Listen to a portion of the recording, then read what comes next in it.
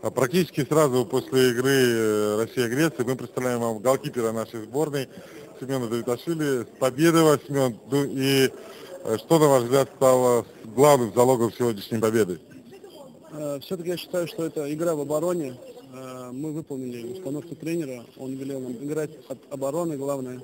И мы, думаю, что справились с этой задачей.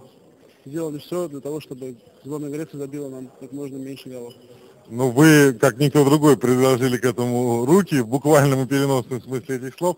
А, пенальти, насколько сложно было его отразить? Ну, здесь пенальти это всегда лотерея. Здесь можешь отбить, а можешь и промахнуться. В этот раз повезло, и мяч попал как раз туда, куда я принял. А Согласитесь ли с тем, что это стало одним из, может быть, переломных моментов матча? Ну, я не думаю, что это один из переломных моментов. Это было только лишь начало игры.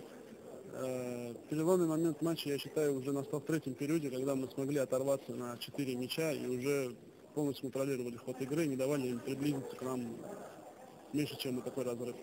Сборная впервые играла в Киришах. Как вам игралось в Киришах?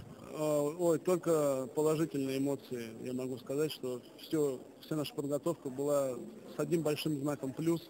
Все, кто принимал участие в нашей подготовке, все делали для того, чтобы мы чувствовали себя комфортно, уютно и как дома. В общем. Спасибо вам большое, удачи в дальнейших играх. Счастливо!